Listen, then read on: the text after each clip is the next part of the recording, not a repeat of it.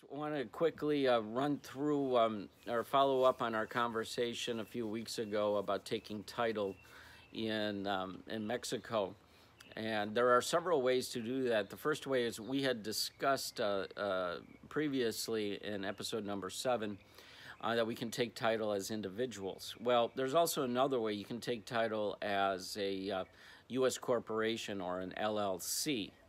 Um, now two things that you have to remember when you're looking for properties.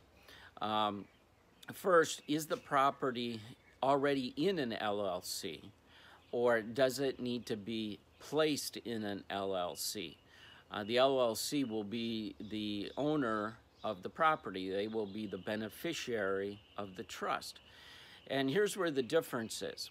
Um, if it's already in an LLC, the buyer is going to avoid having to pay the 2% transfer tax, which can save a lot of money when you're looking at a 200 or $300,000 property. Uh, 2% of that's going to be about 4,000 or $6,000 at closing um, if it is not already in an LLC.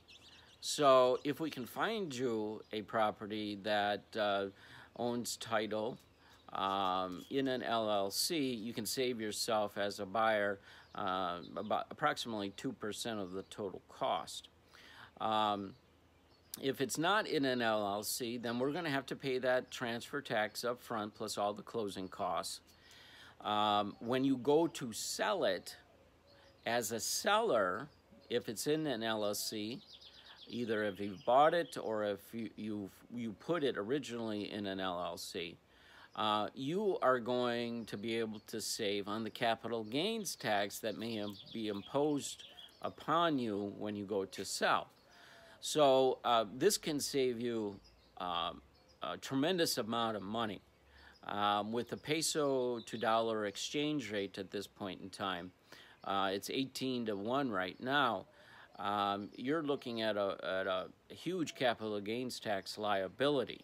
Um, you could have purchased the property $100,000 and sold it at $100,000 and still be liable for a capital gains tax. And the reason why is that when the unit is recorded in the city registry, um, it's recorded in pesos. And then they do their calculation uh, at the current peso to dollar exchange rate and you will be liable for approximately 35% capital gains tax when you go to sell it. So um, uh, there are not many LLCs out there, uh, properties out there that are in an LLC at this point in time.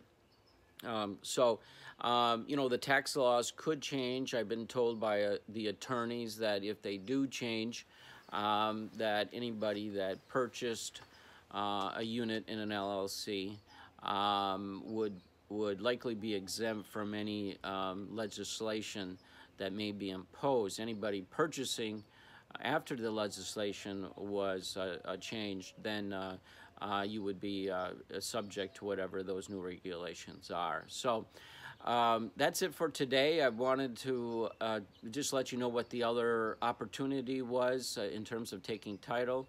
The third way is in a Mexican corporation. We're going to leave that for another another episode. Uh, and as usual, take it easy. If you have any questions, please give me a call. Bye bye.